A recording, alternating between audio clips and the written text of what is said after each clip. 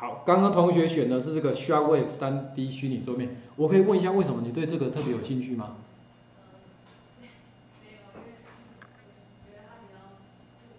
哦，比较不一样，好好好，来，那我给各位看一下哈，你看，像我现在开的很多很多应用程式有没有？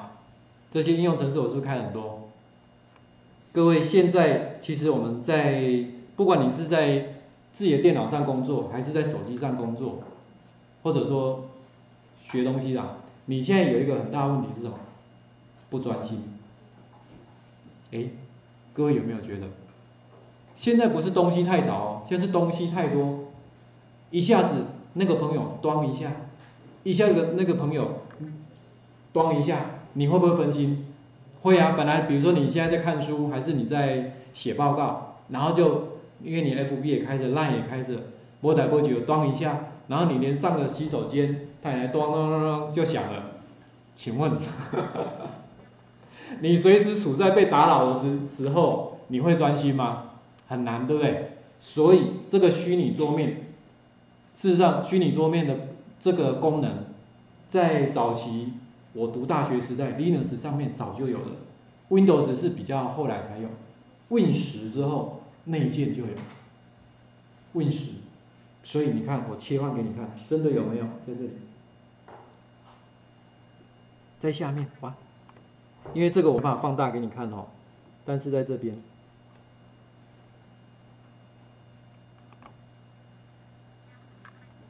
在右下角这里，右下角，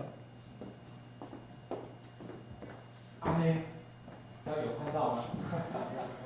右下角有一个新增桌面，有没有？哎，那你可以看到，其实在我这边已经有没有桌面一跟桌面二？有看到的。所以我现在已经开了很多应用程式。如果我已经增加了一个，我到桌面二，你有没有觉得我桌面好像变比较干净了？所谓的干净，不是说。桌面图示不见，而是什么？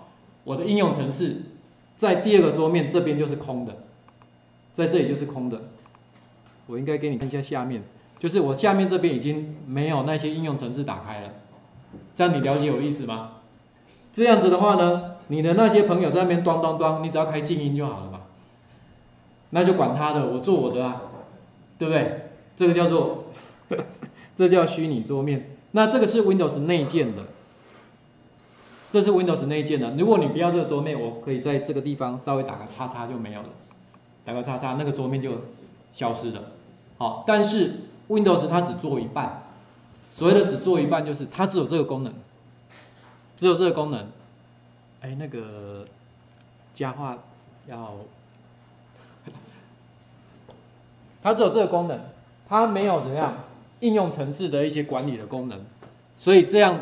变成比较不方便。那我给你看一下，我这个要介绍的这个叫做 Shockwave 3D 虚拟桌面。那这个部分呢，它功能就比较完整。虽然它比较很早以前就已经怎么样，已经出来了，可是还是很好用。我先给你看一下，在这里，我执行一下。好，已经有了。那我给你看看哦。现在有一个桌面，我就偷偷先切换一下，有没有发现我第二个桌面这里就比较干净，连桌面图示都省下来了。我还可以切到第三个，切到第四个，有四个桌面，有四个桌面。那你随时呢？那我怎么看得到？在这边，因为这个比较下面哈，所以可能我不知道。哦，有有在上面看应该有没有看到这有个四？哎，我已经切到第四个了，那这个都有中文，好，都有中文，所以呢，你看哦，如果我今天有一个应程式，我想要，你看这里有这个窗口一二三四哈，在上面这里有窗口一二三四，哎，对了，今天我们所介绍的软体都是免费的，都免费，那你可以在哪边下载？可以在这边哦，来，我先回到第一个窗口哈，来。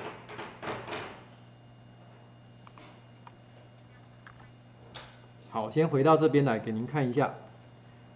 你如果要下载我们今天所有研习的这些软体的话呢，你可以从我们右手边这里，有没有一个档案？右手边，OneNote 右手边，这打开还有更多，这样都看到了哈。右手边这里打开就可以看到更多。当然你也可以到它官方网站上去看，好也是可以。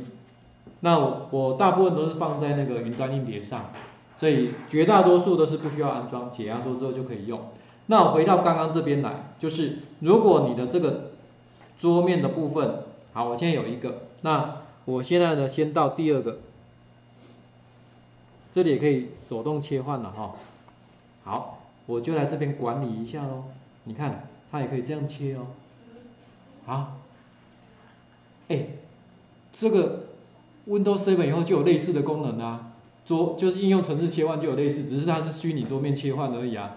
这样有没有比较清楚？看到四个桌面的，有的嘛哈。所以我切到这边来，哎，我如果有某一个，比如说你看这有一道窗口管理员，比如说我在刚刚在这边，我已经把啊这个还是我看一下啊这个好了，我想把它拉来第二个窗口，有没有它？你可以做应用程式的管理，因为我可能已经放在这里的，可是我发现放在这里会干扰我，还是有有另外一种情形，就是我今天我要写报告，我把跟报告相关的网页也好，文件也好，我都开在一起，然后呢，跟同学联络我用这一边，写报告用这一边，这样会不会专心一点？会嘛哈？当然，最好的方法就是那个那些都不要开，给你一个纯净、不干扰的空间是最好。可是如果你一定要开，至少它不，因为现在就算没有声音，也会在那边闪闪闪。请问会不会干扰你？也会啊，也会干扰你。好，可是你又一定要开，那这个时候就是等你有空的时候再回来这边看。你看哦，我把它移过来之后，你来看一下，我按下确定。你看这一个。这一个有没有搬过来了？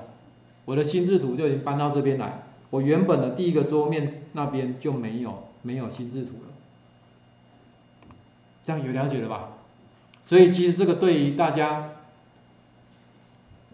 你在使用电脑的时候，给你一个比较安静的空间、专心的空间，这个是蛮有帮助的。那这个软体呢，都是不用安装的，都是不用安装，解压缩之后就可以直接用。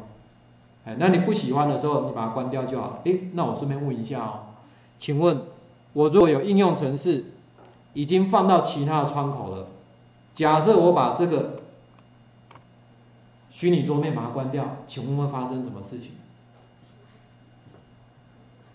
你觉得我如果把这个虚拟桌面就关掉了，